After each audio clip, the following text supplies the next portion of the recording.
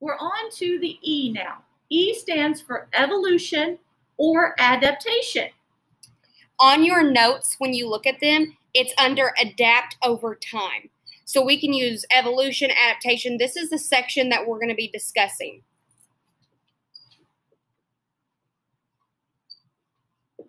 Okay, so when we talk about evolution or adaptation, what we're really talking about here is small incremental changes over a long period of time. Now, we're not really focusing on origin and things like that, but more likely we're thinking about how, over the course of time, an organism changes to adapt to its environment. It's not going to immediately change. It's not going to decide, oh, it's cold, so I'm going to grow a, a big coat tomorrow. That's not what it's thinking about.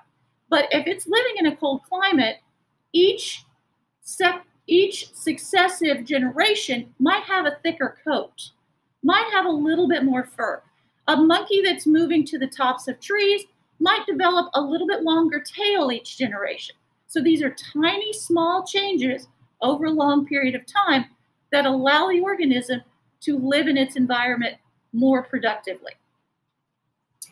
The last one that we have is G. G is meant, uh, meant to be growth and development. It is very important that as a living thing that you are able to mature over time. I know in elementary school you talked about the life cycles when you looked at the egg and how it was able to grow into a chick and then to a chicken.